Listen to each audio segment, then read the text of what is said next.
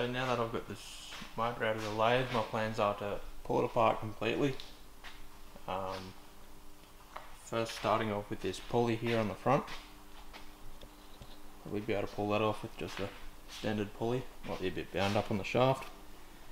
Then to pull the outer the ends off it and then I'll be able to inspect the armature, the bearings, find out whether they're a sleeve or a ball bearing and then I'll be able to clean it all up and reassemble it and then test it.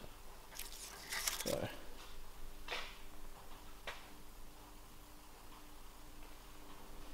should be a good project.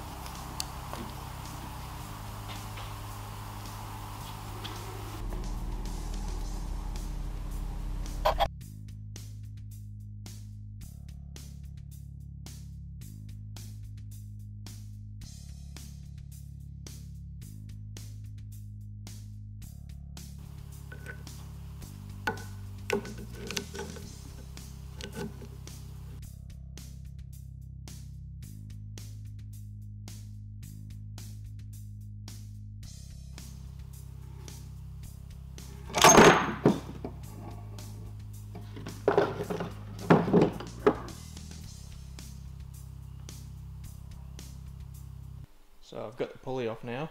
That came off quite easy with this standard three-legged puller. I had to use a an extension to reach all the way in because the, the pulley's quite thick. But other than that, it wasn't seized on at all, and the shaft looks like it's in pretty good condition.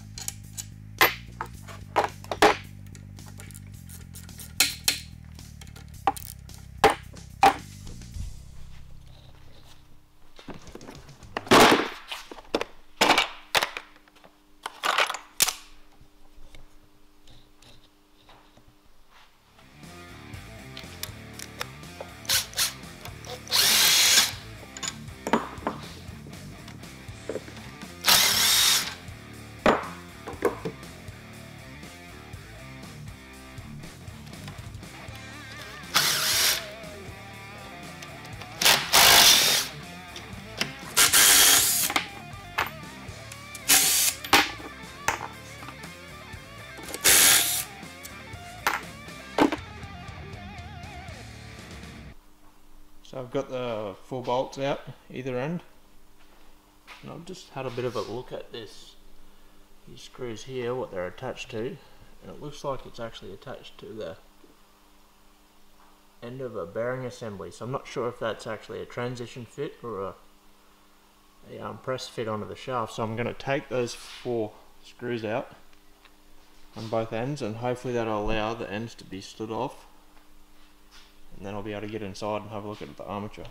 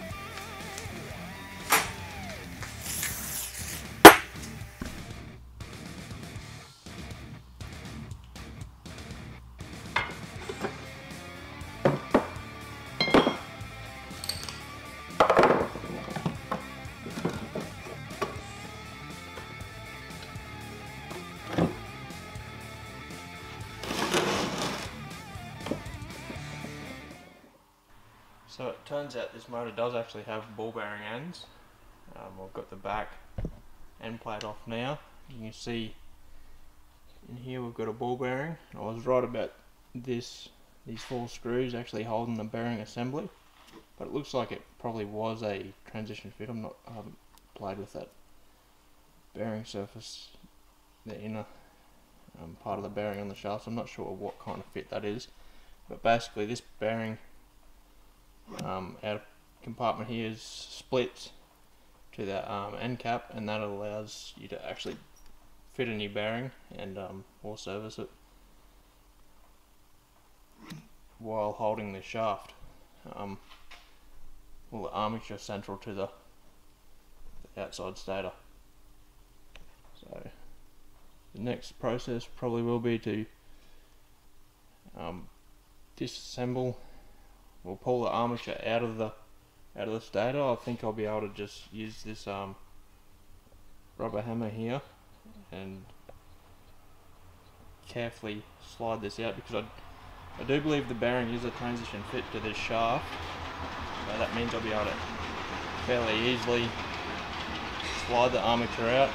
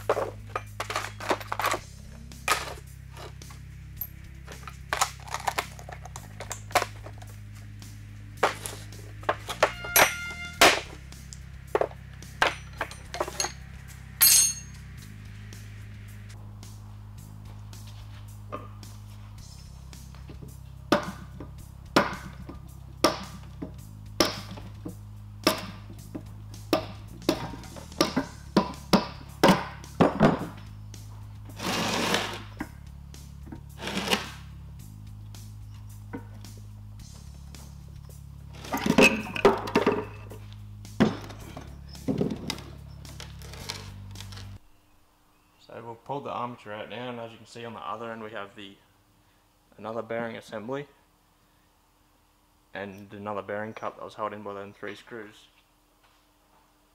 So I think this is a pretty good idea for a motor to be assembled actually because it allows you to pull apart the armature without actually disturbing the bearings. You can service the complete inside, clean it, blow all the dust out, um, slide it back in and you haven't actually had to disturb any of the bearings as such as like um, hammering them off. So they pretty much remain undamaged and you can have complete access to your motor. So quite a smart way of building a motor really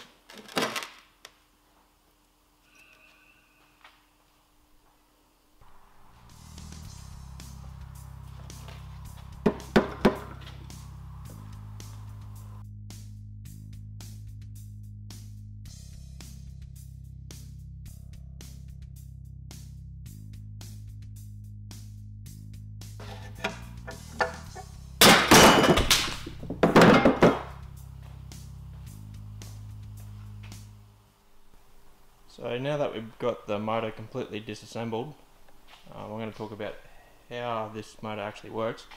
It's just a um, three-phase motor, and it's what they call a squirrel cage motor.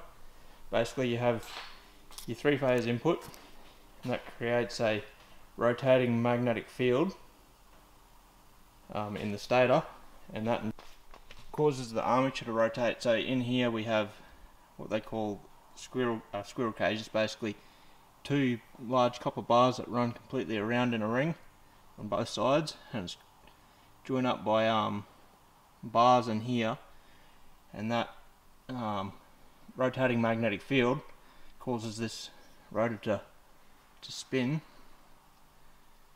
So I'm actually a pretty simple design and as long as the motor doesn't get hot and the stator doesn't burn out all the bearings uh, don't wear out and collapse the motor basically will last a very long time so I've got no worries about this motor actually working again I'll give the um, housing a clean up, get all the dust out. I'll probably then really re-grease, pack the bearings. Um, I might actually give the in, inside of the motor a repaint. Might have to use some um, heat resisting paint for the inside of the motor. I'll assemble it all back together and then we'll be able to repaint the outside and that part of the restoration will be done but I'm pretty excited to get it going again. Um, so if you'd like to follow along stay um, tuned and please subscribe, like and comment. Um, it's always interesting to see everyone's feedback and suggestions. I hope you enjoy the series.